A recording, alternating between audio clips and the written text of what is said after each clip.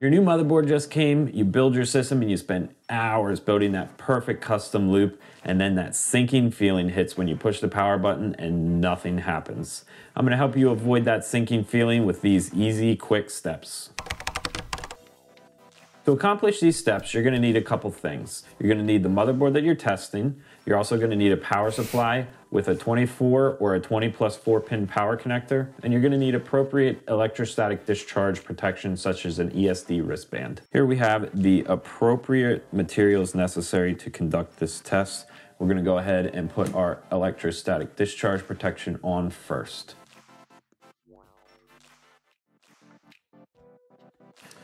So now that we have the electrostatic wristband on, we're gonna go ahead and attach it to the power supply so that we can discharge any of our static electricity during this testing procedure. The first step to determining if your motherboard is DOA will be taking a visual of any physical damage that may be apparent. This can be in the form of capacitors that are bent or anything that doesn't look straight in the RAM slots or the DIMM.2 slot if you have one. If you have a removable heatsink, in this case, I have two. I have this one here and this one.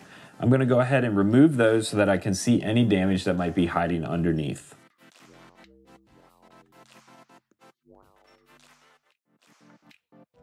So we can see that removing this heatsink revealed an M.2 slot, which we can look at the connections of that M.2 slot to determine if there's any physical damage to that port. We can check the PCI 5.0 slot here, check the connections, everything seems to be good there. And then we can also test the quick release for the PCI 5.0 slot. Make sure that is working. So everything looks pretty good here. I'm gonna go ahead and replace this heatsink so that we can move on to the lower one. Next, we can go ahead and remove the lower heatsink. As you can see, taking off the lower heatsink revealed two M.2 slots, which we can check for damage. Everything looks good on those. Next, we can look at the PCI 5.0 slot, check for any bent pins inside of this connection. Everything seems to be okay. Here we can check the latch and make sure that's working appropriately. Then we can also look at the PCI 4.0 slot and make sure there's no bent pins inside of that connection. Here we can see more capacitors. We can check the audio capacitors over here and make sure nothing looks bent as well. So this is the CMOS battery. It's a CR2032. Everything looks installed correctly with that, so we're good to go there. Next, you can look at all of your headers and make sure the pins are nice and straight. You can check these switches and make sure they switch appropriately. Make sure that they are back in their default positions. And again, you can just go down and push these buttons, make sure that they click and make sure that everything works as it should. Check down the sides here at your connections as well click these buttons to make sure that they are also functioning as appropriately as you possibly can tell. Now that we're finished with all of that, we're gonna go ahead and replace the lower heatsink.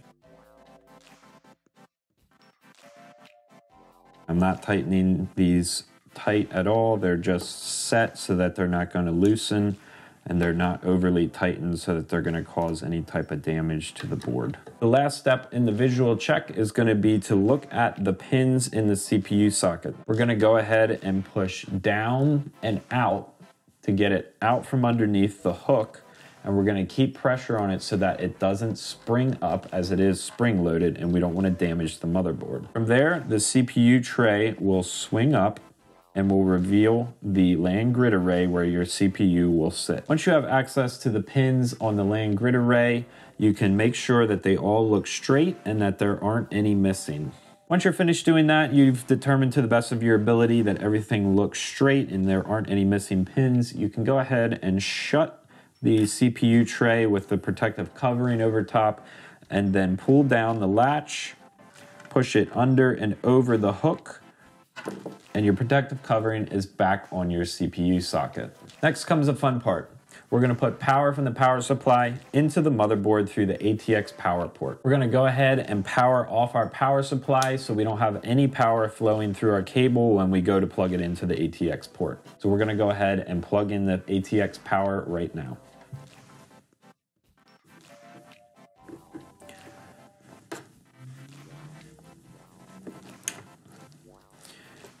Not sure if you were able to hear the click, but it is audible and you want to make sure that you do hear it. That way there's no issues with connections and then we are not creating any excess heat with the potential to burn a connection from all the power that's coming through these cables. I'm gonna go ahead and switch the power supply on. As you can see, the motherboard is in its standby mode now, and this is indicating that it is getting power and that everything is working as it should. However, we're not done yet. The next thing you're gonna do is you're gonna push the start button on your motherboard. So all of these indications are showing that this motherboard is working as intended. It's recognizing no CPU, no RAM, and it is operating as it should normally. This is as far as we can tell a motherboard that is not dead on arrival. This motherboard was successfully bench tested, and these are steps that you should take on any motherboard as soon as it arrives. That way, if something is wrong, you can start the manufacturer's warranty process and get it replaced as soon as possible. You can check out my video of the motherboard that we just bench tested by clicking here. Thanks for watching.